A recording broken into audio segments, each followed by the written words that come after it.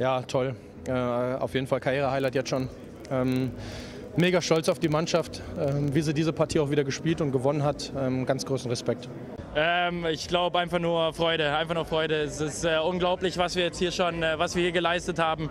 Vor allem, ich glaube, in den letzten zehn Minuten, wie die Jungs sich wirklich in die Schüsse geworfen haben, was der Matthias da hinten rausgeholt hat, ist einfach ja unglaublich. Ich könnte nicht stolz auf die, auf die ganze Gruppe hier sein. Die Eishockey-WM live beim Magenta Sport.